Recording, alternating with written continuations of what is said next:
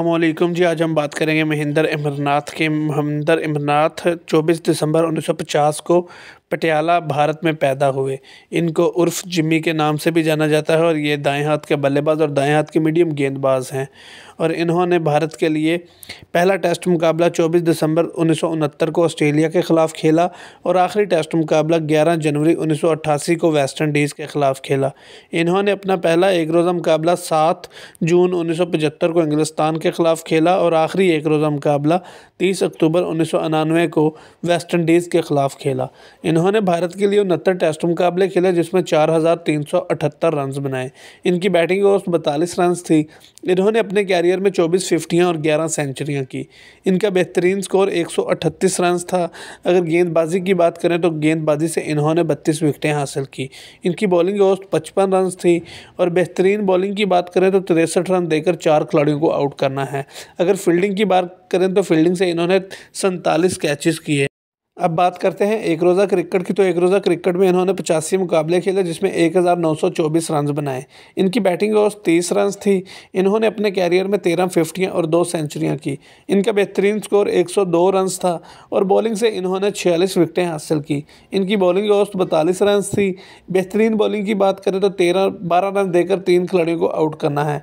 अगर फील्डिंग की बात करें तो फील्डिंग से इन्होंने तेईस कैचेस किए।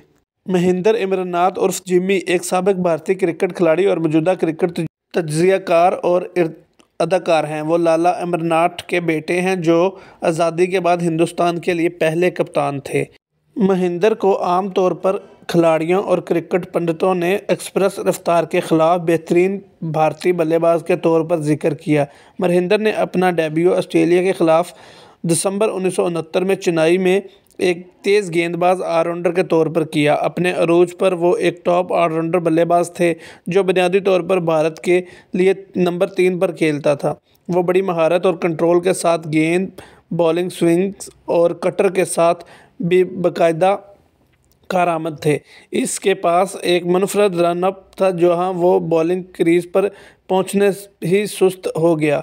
इसे इसका बाहर सुस्त रवि के पीछे फुलादी असाब थे। महेंद्र अमरनाथ ने उनहत्तर टेस्ट खेले, जिसमें बतालीस की औस्त एवरेज से बैटिंग की, जिस पाकिस्तान के तेज़ गेंदबाज इमरान खान और वेस्ट इंडीज़ के मलैक मार्शल ने इनकी बल्लेबाजी, हिम्मत और दर्द को बर्दाश्त करने की सलाहियतों की तारीफ़ की। उन्नीस सौ बयासी तिरासी में महेंद्र ने पाकिस्तान के ख़िलाफ़ पाँच और वेस्ट इंडीज़ के ख़िलाफ़ छः के ख़िलाफ़ ग्यारह टेस्ट मैच खेले और दो सीरीज़ में एक हज़ार से ज़्यादा रन बनाए। अपनी किताब आइलैंड्स में हिंदुस्तानी लेजेंड और हम वतन सुनील गावस्कर ने महेंद्र अमरनाथ को दुनिया का बेहतरीन बल्लेबाज करार दिया। महेंद्र ने अपनी पहली टेस्ट सेंचुरी प्रैट में डब्ल्यू ए सी ई में जेफ थानमस के ख़िलाफ़ बल्लेबाजी करते हुए बनाई। इसने इस टेस्ट सेंचुरी के बाद टॉप क्लास फास्ट बॉलिंग के ख़िलाफ़ मज़ीद दस सेंचुरियाँ बनाई इमरान खान ने अपनी किताब ऑलराउंडर व्यू में महेंद्र को इतना बड़ा समझा कि इन्होंने ये कहा कि उन्नीस सौ बयासी तिरासी के सीज़न में महेंद्र दुनिया के बेहतरीन बल्लेबाज थे। इमरान ने मज़ीद कहा कि महेंद्र ने को उन्नीस सौ उनहत्तर में अपने डेब्यू से लेकर रिटायर होने तक हिंदुस्तान के लिए नॉन स्टॉप खेलना चाहिए था। उन्नीस सौ उनहत्तर में अपनी पहली सीरीज़ के बाद इन्हें टीम में जगह बनाने के लिए उन्नीस सौ पचहत्तर तक इंतज़ार करना पड़ा। पाकिस्तान में उन्नीस सौ बयासी तिरासी सीरीज़ इस सीज़न ने इमरान खान को अपनी जानलेवा कारकर्दगी का मुजाहरा करते हुए देखा, जिसकी हमायत सरफराज नवाज़ ने की। मैच के बाद, मैच में भारत पाकिस्तान के तेज़ रफ्तार ख़िलाफ़ टेस्ट शिकस्त खा गया। दूसरा और तीसरा और चौथा टेस्ट तीन सिफर से हारा। सीज़न में चालीस विकेट लेने वाले इमरान खान को महेंद्र अमरनाथ के साथ मुश्तरका तौर पर मैन ऑफ़ द सीरीज़ से नवाजा गया। भारत के लिए तबाहकुन सीरीज़ ने मास्टर बल्लेबाज गुरिंदर वश के कैरियर का ख़ात्मा तेज़ कर दिया। मजमू तौर पर सीज़न के लिए हिंदुस्तान बैटिंग लाइन अप के लिए महेंद्र अमरनाथ वाहद फजल थे। सुनील गवास्कर ने सीरीज़ के एक इनिंग और अपना बैट उठाया। सुनील गवास्कर ने चार सौ चौंतीस रन बनाए।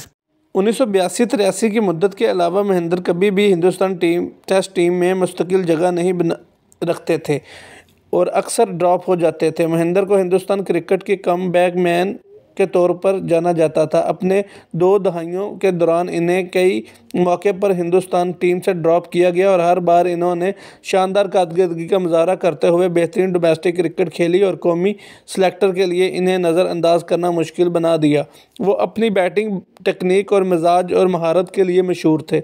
यहाँ तक कि इस ने साइडन बैटिंग स्टेटस के साथ तजर्बा किया, जहाँ एक पाँव क्रीज के जाविये पर रखा गया था, जिससे जिसम को बॉलर के बेहतरीन नज़ारे के साथ ज़्यादा खेला मौका मिलता था।